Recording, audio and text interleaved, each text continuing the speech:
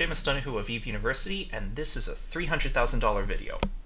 Or, more precisely, it's a video about a $300,000 battle, and what that number, $300,000, actually means in the context of EVE Online.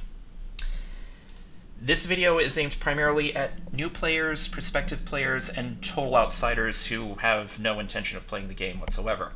Uh, if you are already familiar with how manufacturing works in EVE Online and how pilot's license extensions work in EVE Online, then you already know and understand everything I'm about to cover in today's video. So, EVE Online is a game about internet spaceships. And amongst these internet spaceships, uh, play alliances of players can go out into what is called null security space and try to claim sovereignty over some of the solar systems out in null security and rule those sol solar systems like uh, as their own private empire. And then other player alliances will try to come in and uh, take over their space, and they get into fights with each other.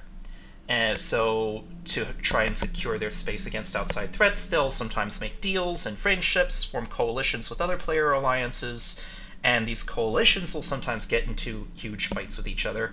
Sometimes these fights get really huge. Uh, very recently, there was a battle for sovereignty in a solar system that CCP has called uh, B-5R5b. I'm sorry, B-R5RB. And this got to be a really big battle.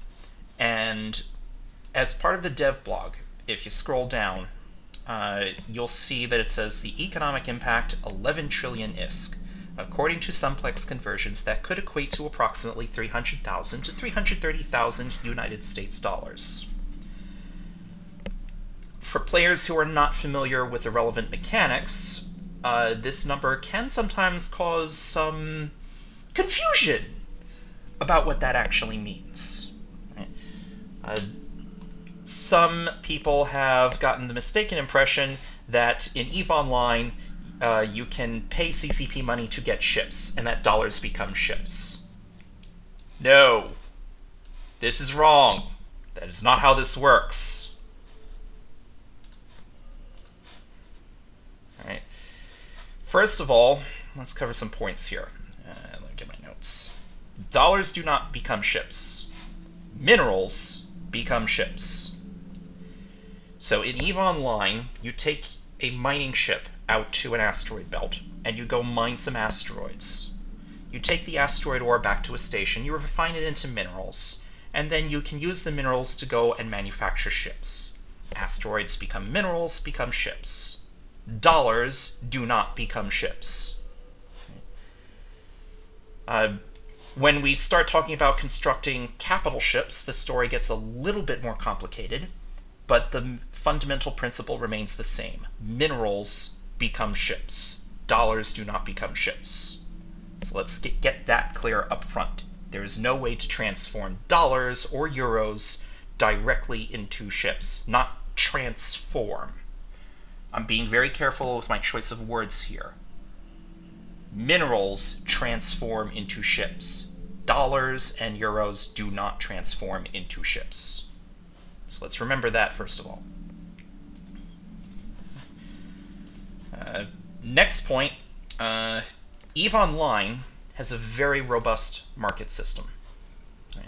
The in-game currency, which can be obtained, uh, which is only created by in-game activity, is called ISK, or Interstellar Credits. And EVE Online has a very robust market system where almost every single item type in the game can be bought or sold for interstellar credits. So if I want to buy a ship from another player for ISK, I can do that on the market. Or if I want to manufacture my own ship and I just want to buy the minerals, uh, I can do that as well. I can look up prices for any of the minerals that are on the market. All right, everything from tritanium to morphite. Uh, so very robust players buy and sell things to each other, in-game items to each other for ISK all the time. So this establishes a conversion between ISK and ships. If I want to go buying ships, for example.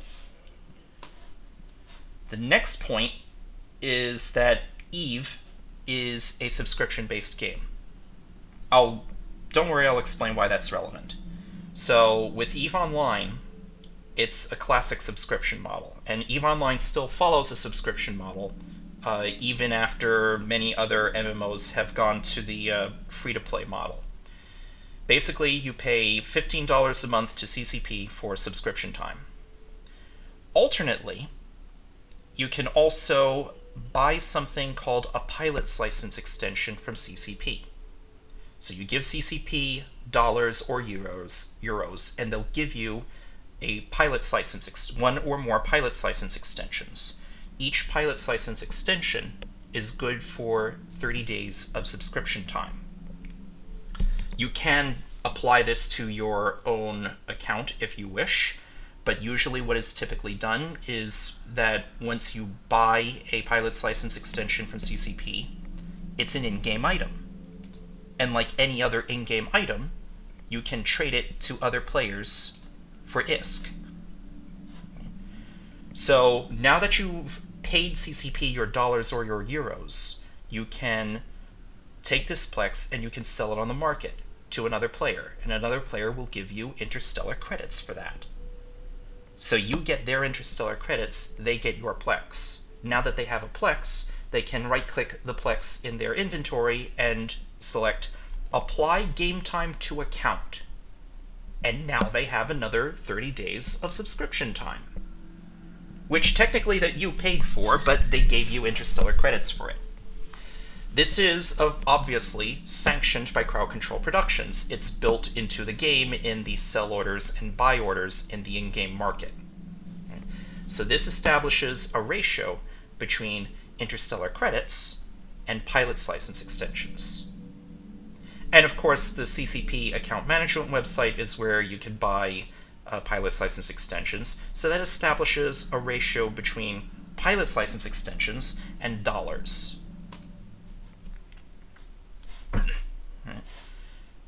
So basically, dollars can be tr traded to CCP for Plex. This is a one-way conversion. You can put money into the system, you cannot take money out of the system. Not legally, at any rate. The only way to get money out of EVE Online is via various real money transactions, but that's a violation of CCP's rules. If they catch you doing that, uh, they're going to ban your account. Right? So this is not allowed. So dollars to Plex is a one-way conversion, uh, or rather a one-way trade. So once you have Plex, you can trade it to other players for ISK, and once you have ISK, you can trade it to other players for ships. But these different things do not transform into each other. You have traded money to CCP for Plex. You are trading Plex with other players for interstellar credits. You are trading interstellar credits with other players for ships. These things do not become each other. They do not transform into each other. They are merely traded for each other. There is a difference here. Again, minerals become ships. Dollars do not become ships. Right. So, with these ratios established, you can now talk about a ratio between dollars and ships, but you're going through two intermediate things to get there. So going back to the dev blog for a moment, it's a, a whole lot of ships were destroyed. 75 Titans, uh, 13 super carriers, 370 dreadnoughts, 123 carriers, and a whole bunch of smaller vessels. And each of these each of these things have, with the exception of the Titans and super carriers, each of these things have a price on the market. Titans and super carriers are a special case. Uh, those have to be uh, transacted between either between trusted uh, business relationships between players or with a trusted middleman. uh, because Titans and super carriers cannot dock in stations, so they can't be traded on the market directly. But that, that that's a tangent. So each of these ships can be traded for ISK. So that puts an ISK value on each of the ships, but it's not the actual ISK that was destroyed. It's the ships themselves that were destroyed. So it's really a mineral loss. But still, you can calculate a trade value for the ships that were destroyed. So how many, how much ISK would you have to spend on the market or with business transactions with other players to replace the fleet that you just that, that just got destroyed? So 11 trillion ISK, and then you can calculate uh, how many plex uh, for that 11 trillion ISK, and then you can calculate how many dollars or euros for that many plex. That's where this $300,000 number comes from. Again, you can only put money into the system, you cannot take money out of the system. So the only way that this $300,000 number makes sense is if you decided that you were going that you had lost this many ships, so you were going to replace it as follows.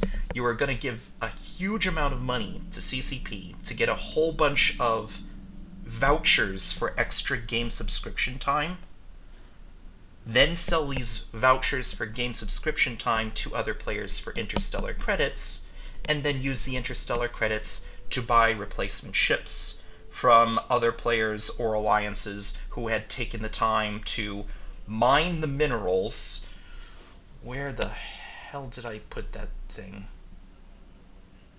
Here we go. Who had taken the time to mine the minerals, uh, to mine the asteroids, refine them into minerals, construct capital intermediate components out of them, and then construct capital ships. Or if we're talking about subcapitals, to just mine the asteroids, turn them into minerals, then turn them into subcapital ships.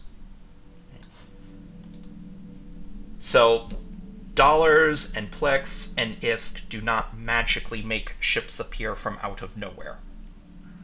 Right? In almost all cases, ships uh, were manufactured by players from minerals from asteroids that were mined, or from reprocessing any loot that they managed to come across. So that's what the $300,000 number means, and hopefully for uh, future reports like this in the future, from the Department of Redundancy Department, so for reports like this in the future, uh, that hopefully establishes the context of what this dollar or euro amount actually means. I'm Seamus Donoghue of Eve University.